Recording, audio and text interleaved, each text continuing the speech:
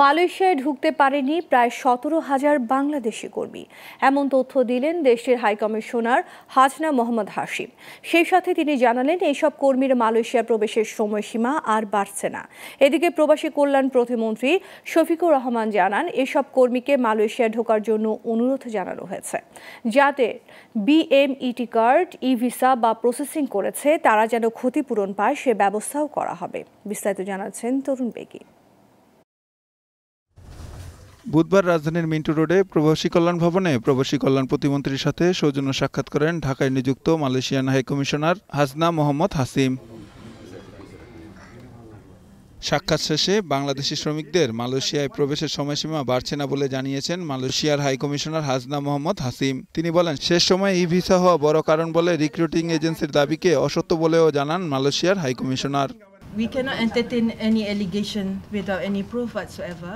But so far, the whole Malaysian government, including those who are issuing the visa, we stick by the deadline. এদিকে যেসব কর্মী Malaysia ঢুকতে পারেনি তাদের অনুমতি দেওয়ার আহ্বান জানিয়েছেন প্রবাসী কল্যাণ প্রতিমন্ত্রী। তিনি বলেন যাদের বিএমইটি কার্ড ই ভিসা বা প্রসেসিং করছে তাদের ক্ষতিপূরণ পায় সে ব্যবস্থা করা হচ্ছে।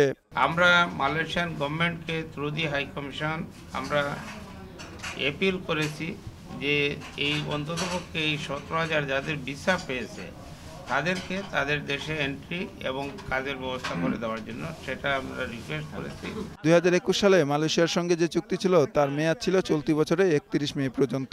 কিন্তু কি কারণে কর্মীরা যেতে পারেননি তদন্ত কমিটি বের করবে বলেও জানান প্রতিমন্ত্রী। ইনকোয়ারি টিম করেছি ছয় সদস্য বিশিষ্ট যে এইটা কোন কারণে যাইতে পারে নাই কি কোন সমস্যা হয়েছে কাদের দ্বারা এই সমস্যার সৃষ্টি হয়েছে এই সমস্ত জিনিস খুঁজে বের করার জন্যই আমরা তদন্ত কমিটি করেছি।